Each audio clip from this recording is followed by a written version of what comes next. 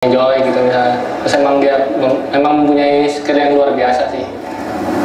Lebih banyak sendirilah gitu jadi walaupun emang dia baik orangnya gitu kan cuma dia lebih banyak sendirinya gitu. Di kamar dia kebanyakannya pasti main HP ya. Kebanyakannya main HP terus udah gitu main game dia sukanya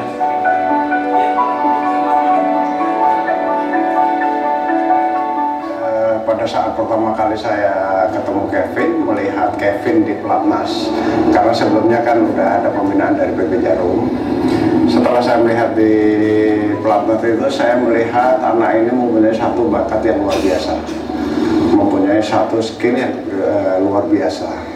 Dan saya tahu banget bahwa pada saat eh, dalam latihan dia selalu disiplin, selalu jadi patuh kepada pelatih dan saya baru bisa memberikan keyakinan setelah mencoba Kevin itu saya turunkan di satu kejuaraan karena di situ ada tiga hal yang yang membuat Kevin itu mempunyai modal dasar untuk jadi pemain dunia. Melatih Kevin, anak ini unik. Kenapa saya bilang unik? Karena ini su- paling sulit di antara semua atlet yang yang saya latih itu anak ini paling sulit. Artinya dia sulit untuk diberikan arahan yang kalau dia itu belum menemukan buat apa sih enak apa tidak sih seperti itu.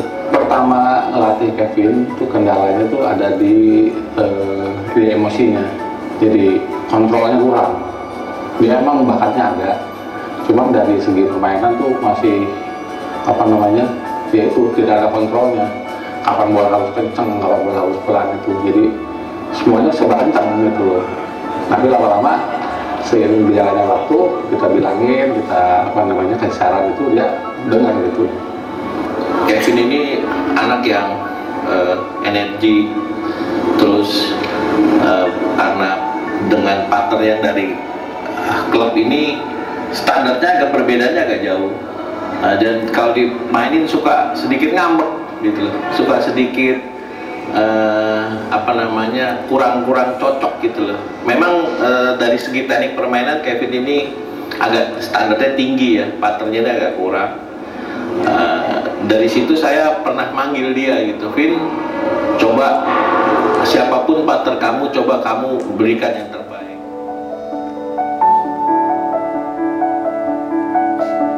dia sudah memiliki satu skill yang seperti sekarang yang dia tampilkan dan itu eh, artinya skill itu eh, selain pukulannya dia itu sangat pintar untuk membaca eh, pola permainan lawan.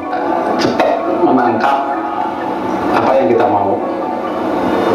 Kedua, dia mempunyai mental yang baik. Begitu juga dengan di lapangan tidak mau kalah dan cantik mainnya.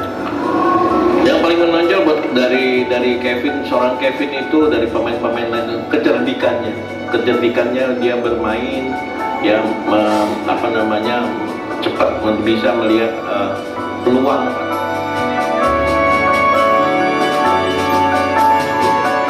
Menjadi Kevin tetap berlatih keras, tetap profesionalisme dan tetap rendah hati. Saya berharap Kevin eh, mulai hidupnya lebih disiplin lagi, eh, tidurnya, makannya, jaga kesehatan. Karena itu semua proses itu akan membuat dia akan bertahan lebih lama menjadi seorang juara dunia. Khusus pesan buat Kevin jangan pernah puas apa yang sudah dicapai karena perjalanan buat eh, seorang Kevin masih panjang.